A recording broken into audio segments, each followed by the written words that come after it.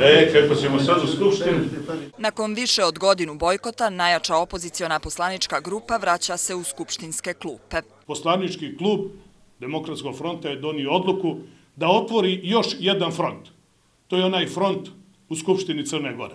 Mi se vraćamo u Skupštinu Crne Gore u punom kapacitetu. I to od narednog zasjedanja koje je zakazano za 20. decembar kada je planiran premijerski sat. Odluku koju su najavili prošle sedmice donijeli su jer je, kako kažu, propalo zajedničko opozicijono djelovanje. Radit ćemo u interesu svih građana Crne Gore i znamo da nećemo ni najmanje pogriješiti što hoćemo da izbjegnemo izolaciju koju su nam namijenile neke opozicijone stranke zbog ovog poziva kojeg su dobili od Duška Markovića, a da Duško Marković i Demokratska partija socijalista računaju da Demokratski front tako izolovan može da bude laka žrtva njihove režimske akcije. Osim, kako su rekli, tema koje je život znače, najavljuju šta će još biti u fokusu njihovog djelovanja u parlamentu. Svakako da ćemo i u Skupštini Crne Gore uspjeti da kažem ono što nam sprečavaju da saopštimo u onoj sudnici gdje pokušavaju da ponize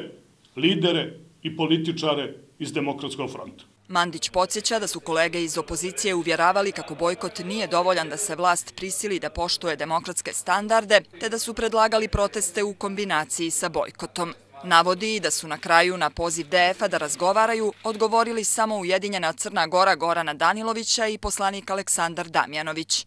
Ostali su, kako je rekao, čutali. Žao nam je što kolege iz opozicije nijesu imale bar onoliko osjećaja prema našem pozivu koliko su imali prema pozivu koji je uslijedio strane Duška Markovića, ali nezavisno od toga šta se dešavalo, kada god budu željeli kolege iz opozicije, mogu da računaju da sa nama mogu da idu na proteste, da mogu da imaju u demokratskom frontu nekoga sa kim će se boriti protiv vlade Duška Markovića i protiv režima u Crnoj Gori. Ako neko iz opozicije želi da protestuje i hoće da protestuje, kao što se protestovalo prije neki dan ili juče ili prekjuče na Cetinju, mi ih ohrabrujemo da to rade. U DF-u vjeruju da će političari iz Evropske unije razumjeti njihov povratak u parlament na pravi način, a na današnjoj konferenciji za medije nijesu dozvolili pitanja.